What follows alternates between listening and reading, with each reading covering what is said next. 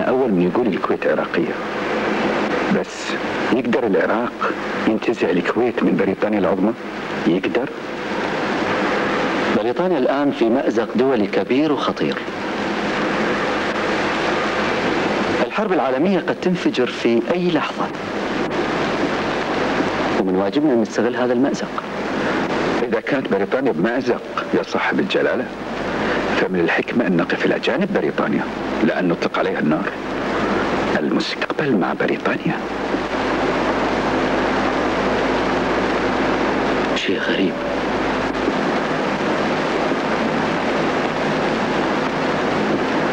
أنا استدعيتك حتى أتحدث معاك. باعتبارك من رجال العراق. لا باعتبارك من رجال بريطانيا. أنا من رجالات العراق فعلا جلالة الملك. كنت جندي من جند الثورة العربية وقاتلت قاتلت تحت راية المغفور لوالدكم.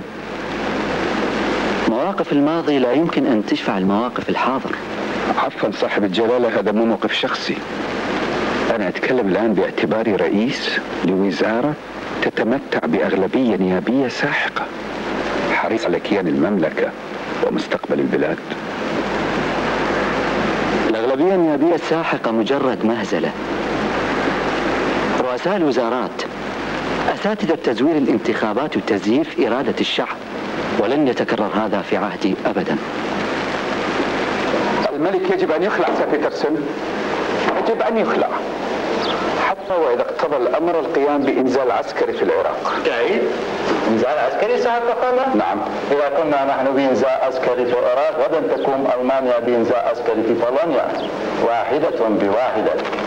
إذا أنا مضطر أقدم استقالة وخلي الملك يعين وزير متطرف مثله. صاحب الفخامة رجل معنق وخبير صاحب الفخامة. بريطانيا لا تريد إثارة المشاكل في هذه المنطقة الآن. وماذا عن مشاكل الملك؟ سعادة السفير؟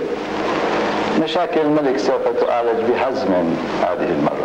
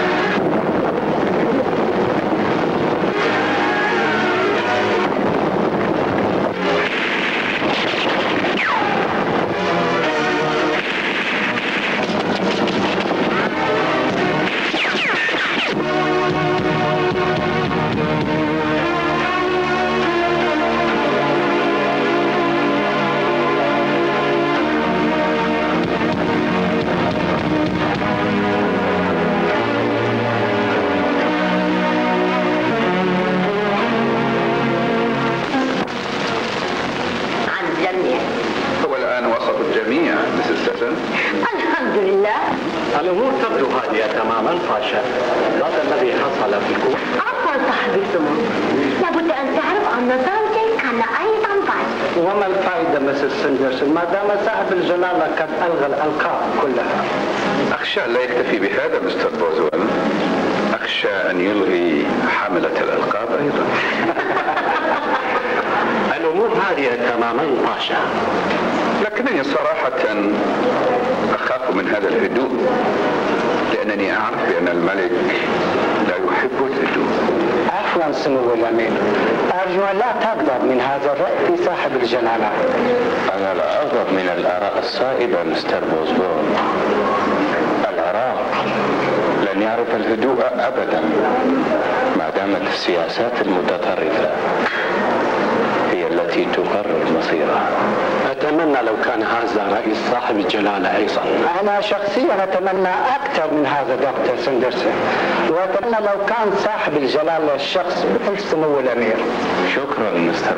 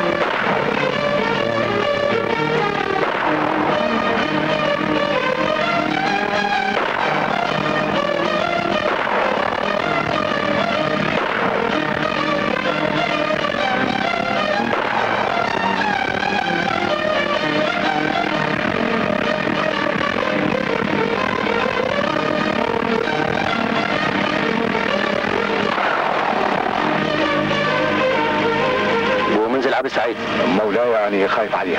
قوم انزل عليك والله أني خايف عليك مولاي.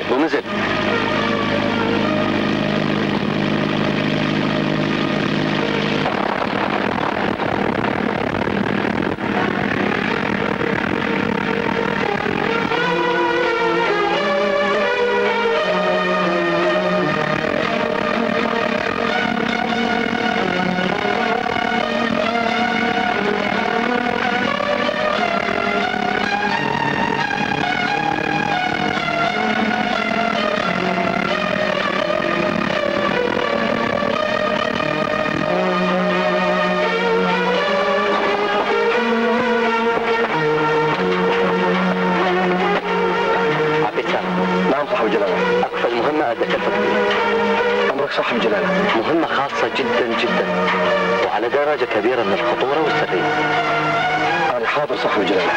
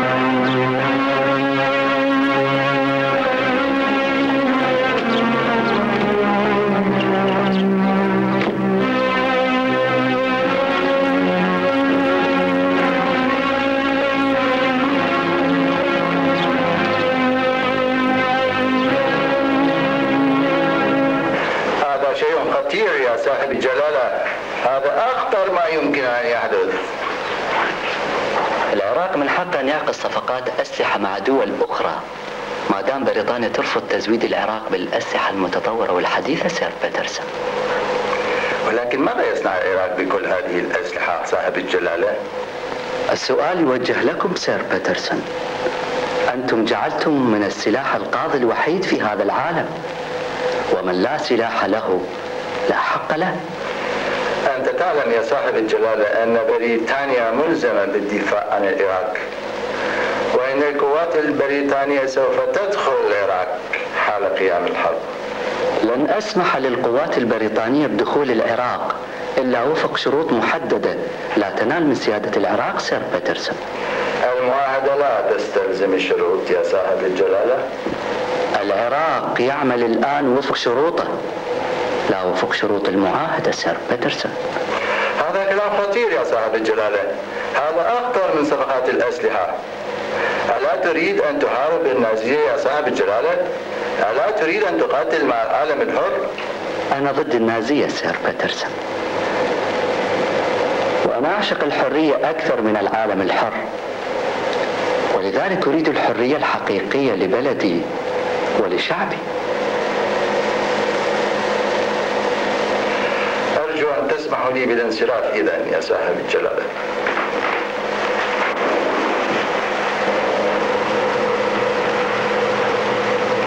بك نعم صاحب الجلالة أرجو أن تتابع بنفسك وصول الأسلحة للعراق وأن تخبرني أول بأول. أمرك صاحب الجلالة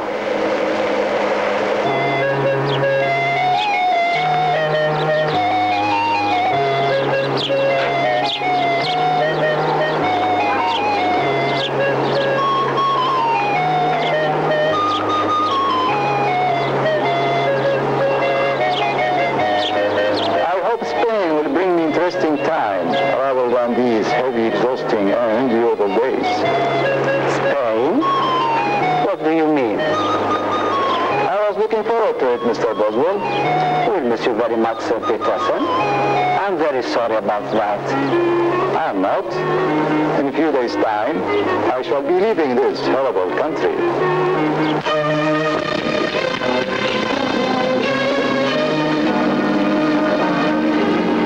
سير بيترسون أتمنى لك التوفيق في إسبانيا شكرا جزيلا سمو الامير والحقيقة صاحب الفخامه هناك سبب آخر لقدومي غير التوديع سبب يتعلق بالملك.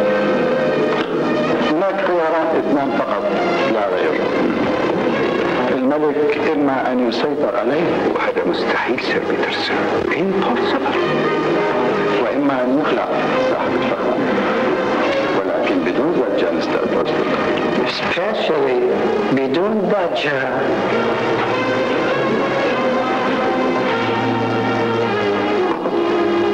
Música